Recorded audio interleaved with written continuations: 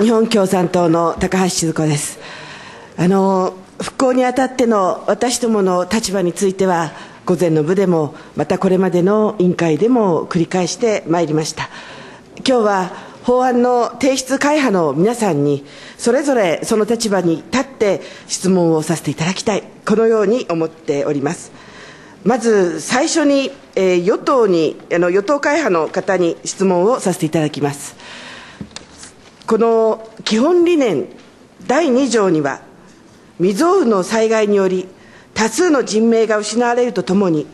多数の被災者がその生活基盤を奪われ被災地域内外での避難生活を余儀なくされると甚大な被害が生じておりかつ被災地域における経済活動の停滞が連鎖的に全国各地における企業活動や国民生活に支障を及ぼしているなどその影響が広く全国に及んでいる云々という形で私は現状認識についてはやはり同じだと思うんですね。多くの人命が失われて本当に大きな犠牲があったということそしてまだ今でも不自由な避難生活を余儀なくされているということ。まずここから出発をするというわけでありますけれどもしかしこの文脈は同じ第2条の1の中で最後は21世紀半ばにおける日本のあるべき姿を目指して行われる。このように急にこうなんか飛躍をするような気がいたします。その間がどうなっているのかということなんですね。繰り返し指摘をしてきたことですが被災者一人一人が生活の基盤を取り戻すことこれが第一歩だと思いますがなぜ明記をされなかったのでしょうか。提出者、山口剛君。今あの、高橋議員のおっしゃられた2条1項のところでもって、私たちあの修正協議の中でいろんな知恵をいただいたわけですけれども、一つの知恵がこの部分です。一人一人の人間が災害を乗り越えて豊かな人生を送ることができるようにすることを旨として行われる復興のための施策の推進により、その後にこの新たな地域社会の構築がなされるとともに、21世紀半ばにおける日本のあるべき姿を目指して行われるべきことということなんで、私もあの今、高橋議員のおっしゃられた、もう災害に遭われた方一人一人のもう大変な立場、それを考えると、そこのまず復旧・復興が大事。第一だろうし、まあ、その後にいろんなことが続くと思いますので、まあ、この文章でもって読み込んでいただければとってもありがたいです。高橋千鶴子君。そうなんですね。あのこの法案はあの一つは枠組み法でありそしてそのもう一つは理念法であると。だからその理念が非常に大事なわけですね。だから読み込んでいただくではなくて大事なことはちゃんと書いてもらいたいと思うんです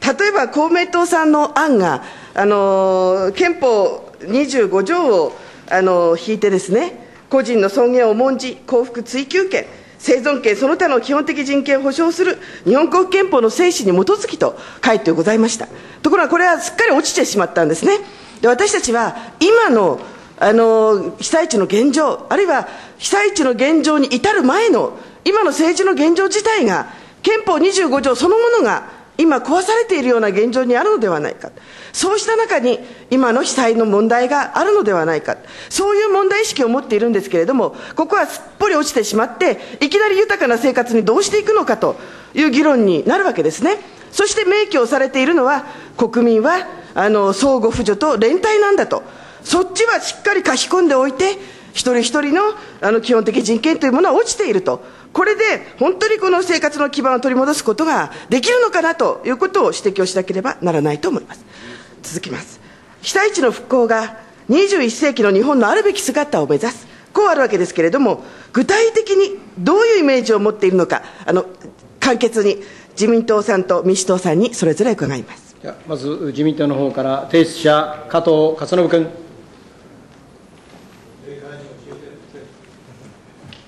高橋にお答えをさせていただきます。東日本大震災への対応においては、今ご指摘がありますように、早急に復旧を図っていくということはもとよりでありますが、また、さらに復興するにあたっては、原型復旧に伴わず、将来を見据えた復興を図る必要があるというのは、多くの皆さん方の共有しているところだというふうに理解をしております。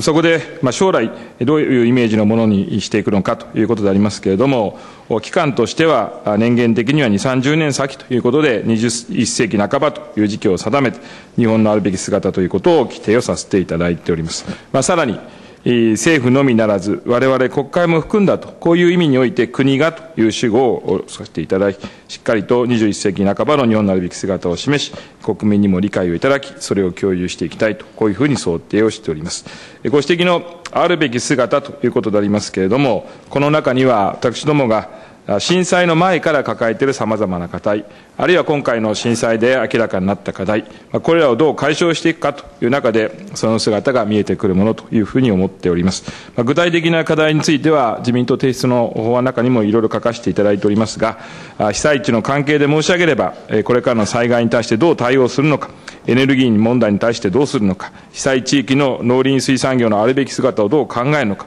あるいは少子高齢化、さらに加速化が進んでいるこうした地域での地域社会をこれからどう構築していくべきなのか、そういったものがこの中に具体的に含まれていくものと考えております次に民主党の方から、提出者、後藤祐一君。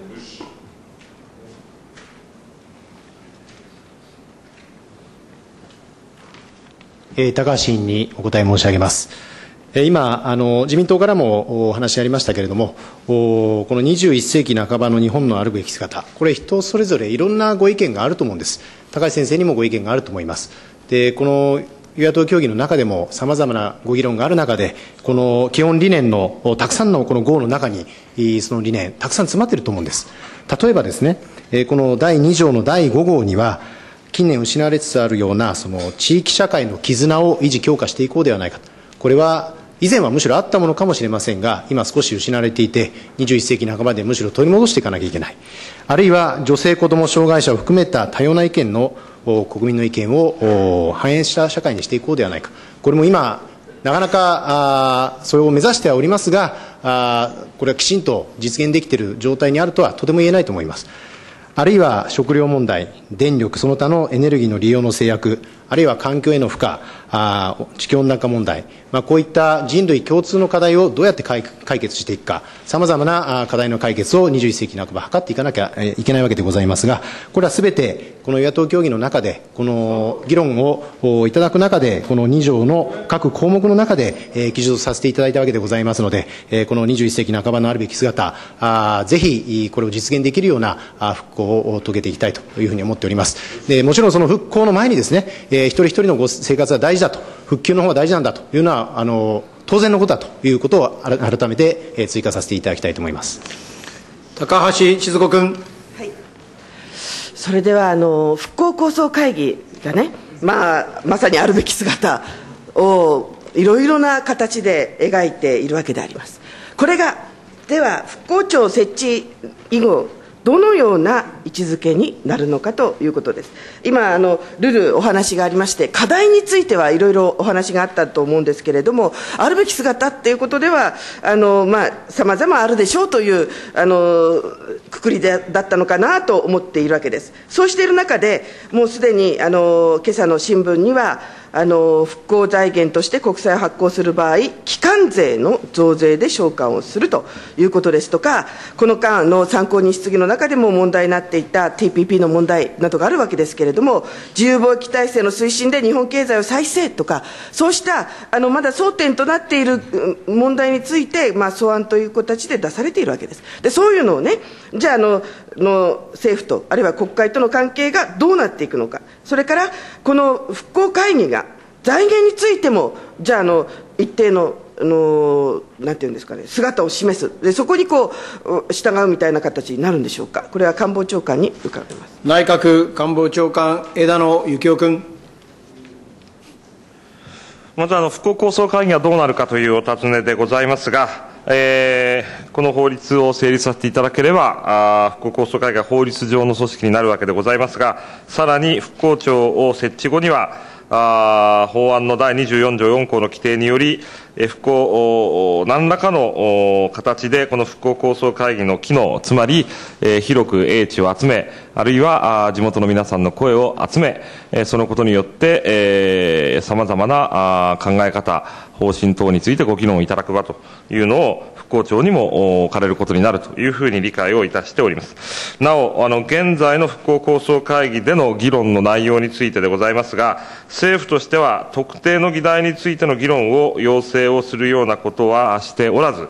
今月末の提言取りまとめに向けて、幅広い観点から自由闊達な議論をお願いしているところでございます。当然、あの、大変、いろいろな見識ある皆さんや知事の皆さんにお入りいただいている会議でございますので、その提言は、あの、重く受け止めなければならないと思っておりますが、まあ、それを踏まえて政府としての、えー、復興に向けた方針をお示しすることになるかと思いますし、国としてということでは、あ国会においてもですね、あの、様々なあご議論がなされるものというふうに承知をしております。高橋千鶴子君。あの財源の問題についてですね、あの法案では、えー、復興債のような形、それから償還の道筋を明らかにするということが書き込まれていると思うんですけれども、これ、基幹税という形であの提案をされるとね、全く趣旨が違うと思うんですね。要するにあの基幹税ですからあの復興のためだけではないわけですね。そうすると今社会保障改革などということさまざまなことが議論をされているわけです。で逆に言うとそのことにがつまり復興のためだという口実であの全般に関わる増税になっていくとでそういうことをここで議論するのがふさわしいかこれはもう大問題だと思うんですね。これは私たちはもちろんあの認めるわけにはいかないわけです。またあの当然あの仮にあの取り沙汰されている消費税などということになると被災地にも大きな負担になるということでありさまざまな努力をするべきだという形で岩手やあの福島の知事などは反対をされております。財源についてのお答えが明確でなかったと思いますがもう一度官房長官に伺います。内閣官房長官枝野幸男君。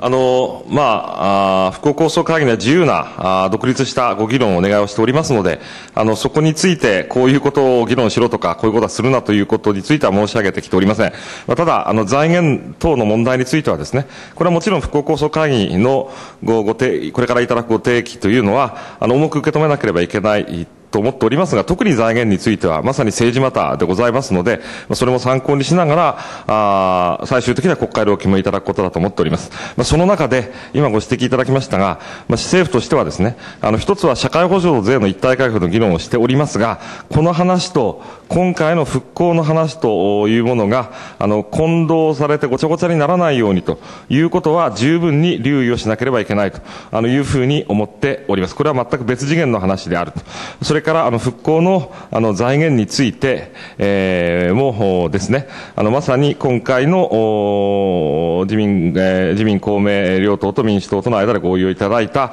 趣旨を踏まえてですね、あの復興のために特化をした財源について、えー、検討、議論をしていくということだと理解をいたしております。高橋千鶴子君、はい、あの今、大変重要な答弁だったかと思います、復興の議論をしていたと思ったら、日本全体に関わる、また将来に関わるようなあの増税であったということが決してないように、あの重ねて確認をさせていただきたいと思います。であの次にあの公明党さんとあの官房長官に伺いたいと思うんですけれども、あの各県、あるいは各市町村段階でも、復興計画やプランがそれぞれあの作られているところであります。また、そのためのあの策定委員会などもあの始まっているところであります。で中には、えー、午前の部の資料の3枚目につけておいてあのちょっと手元にすぐないかもしれませんけれども例えば宮城県、まあ、先日私この場で水産特区の問題質問させていただいたわけですけれどもこれは昨日の河北新報水産特区激しい応酬ということで宮城県議会でも、えー、あのリードにありますように登壇した5人中沿岸部選出の4人が構想の一時棚上げや撤回を迫ったということで県議会でもあの知事の提案に反対の意見があの非常に多く出たという様子が書かれているわけであります。ですから復興構想会議でですねあの知事が発言をしたからといってそれがあの県民の全体の意思であるというわけにはいかないわけであります。でそういうことをまず踏まえていただきたい。で今回はあの3条、4条という形で、まあ、国は基本方針を書くということ、作るということ、そして地方公共団体はその基本方針を踏まえという書きぶりになっているわけであります。でこれが、あのやはりこの上あの全体の,、ね、あの方針がこうその地元のこう方針を縛ることにならないかということにあの懸念をしているわけでありますけれどもやはり基本的には市町村の計画を尊重しそしてそのための必要な制度あの制度緩和やあるいは財政措置を国がやっていくとそういうルールが望ましいと思いますけれどもいかがでしょうか？まず提出者石田憲俊君。えー、お答え申し上げたいと思います。私は今の委員の市町村の創意工夫、まあ、そういうものを尊重すると、まあ、この意見には私も賛成でございます。まあ、我々の提案でですね、今回、第10条に復興特区というものを設けることになりました。これをちょっと見ていただきますとですね、えー、政府は被災地域の地方工業団体の申し出によりと、区域を限って復興特区を作ると。これはまさしく、その地域地域でですね、我が地域はこういう復興していこうと。まあ、こういうことを固めていただいて、そういうものを特区として申し出ると。ですから、これは上から特区を押し付けるということではもちろんありませんので、こういう点でも配慮をしていると、こういうことでございます。また、あの基本理念の第2条の第2号、ここでですね、地方公共団体との適切な役割分担、および総合の連携協力、まあ、こういうことも書かれておりますし、被災地域の住民の意向が尊重されると。まあ、こういうことももう明文にとして書かれておりますので、私はその委員のお気持ちも大事にしながら、当然、被災地域の地元の皆さんの意見がまず第一と、これは私は当然だろうというふうに思っております次に内閣官房長官、枝野幸男君。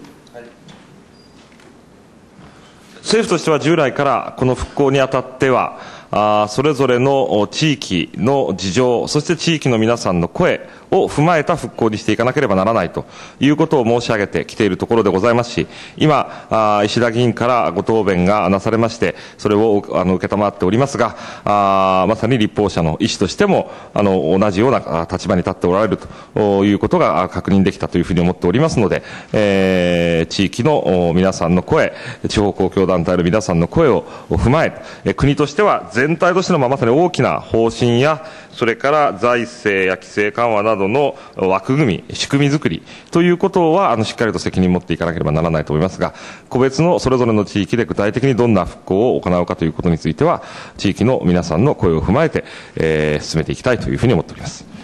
高橋千鶴子君。はい。あのー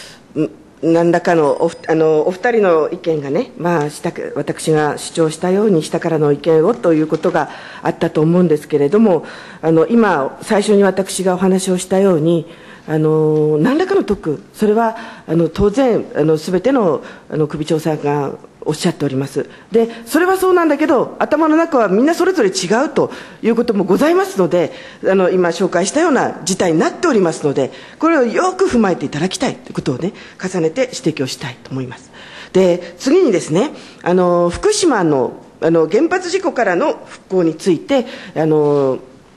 伺いたいと思っております。でやはり現売法について現在の仕組みでは限界がある。この点については、多分皆さんも一致されるのではないかなと思うんです。で、先日も商工、あの、福島県の商工3団体の方たちと懇談をしたんですけれども、やはり、うんまあ、商売の根拠を、まあ、全くこの外に移すべきなのか、あるいはやめるべきなのか、見通しがなければ、それは決断できない、描けないということを皆さん口々おっしゃいました。戻ることが希望の星だと。でも、身動きできない。踏ん切りがでつかない。それどころか避難区域が迫ってきてる。うちの地域でも放射線量が高くなってきた。こんなことをおっしゃるんですね。警戒区域の中で動画を持ち出せない。お得意さんもバラバラになっている。だから新たにもし別な地域で事業を立ち上げるとすれば二重三重のローンを抱えなければならない。それもいつまでという区切りがわからない中で不義理がつかないのは当然のことであります。こうした事情を本当に考えるならば収束の見通しがあの現時点でわからない。賠償の範囲も広く長期にわたるということ。団体ではカバーできない個人事業主の保障をどう捉えるのか。あるいは精神損害をもっと広く捉える必要があるのではないか。単に避難を余儀なくされたというだけではなくて家族の事情などによって避難できずにいる人たち家族がバラバラにされているさまざまな精神的苦痛に応えていく必要があると思います。新しい法律の枠組みについて官房長官と自民党にお願いします。あの簡潔にお願いします、はい、じゃあ初めに内閣官房長官枝野幸男君。はい、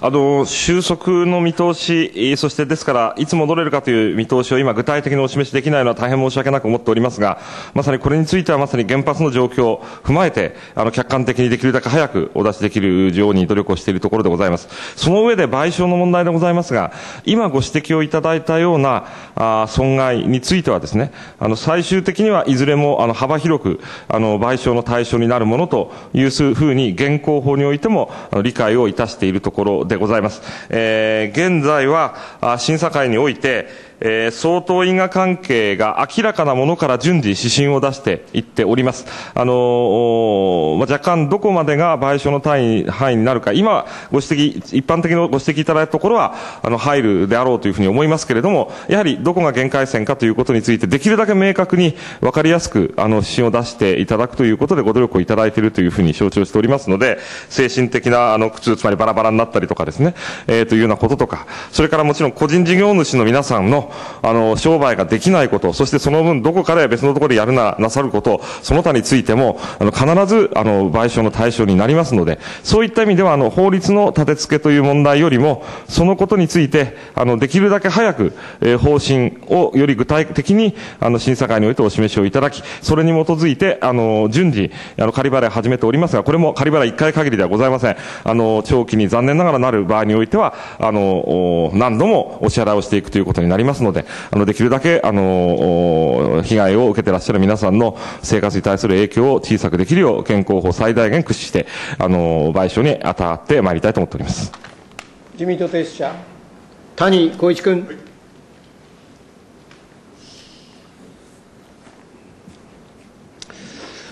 えー、委員ご指摘のように、現在の減賠法の枠組みが、われわれも十分とは思っておりません。見直しが必要だと、そう思っているところであります。したがって、政府において、早く当面措置すべき事項、保証の仮払い、東電の賠償スキームについて、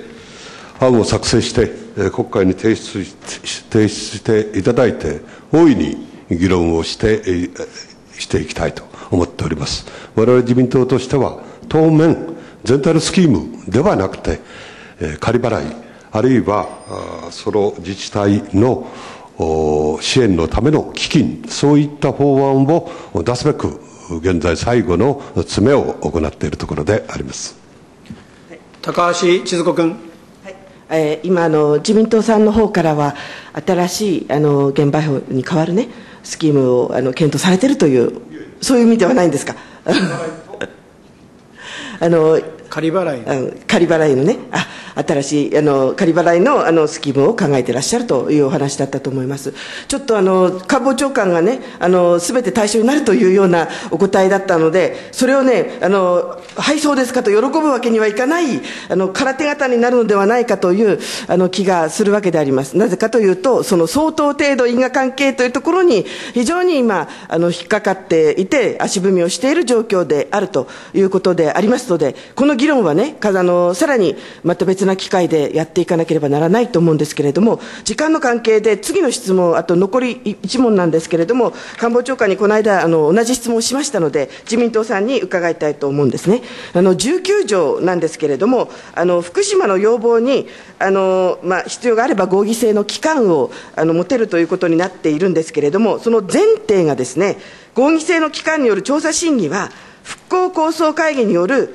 調査審議の結果を踏まえて行われなければならないというふうに書いてあるわけなんです。ですから、どうしてもね、やはり復興構想会議あって、あの、ごあの合議制の機会があるという中で、やはり福島の本当に県民の皆さんの声があの生かされるのだろうかという懸念がございます。やはりあのあの知事さんもあの県からも何度も言われているようにあのやはり原発の収束が見えない中あの県としては財政的な根拠をしっかり持った再生復興までを見通した特別法を作るべきだということを求めているわけですけれども、自民党さんの考えを伺いたいと思います提出者、谷公一君。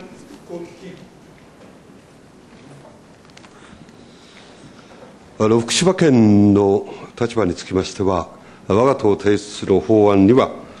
原発事故被害を震災に包含して明記してたところでございます。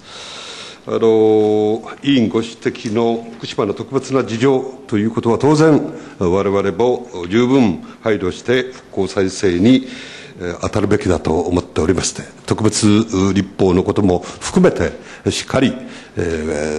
ー、この前の参考人質疑でも、そういったご意見が出たところでございますので、受け止めて対応してまいりたいと思います。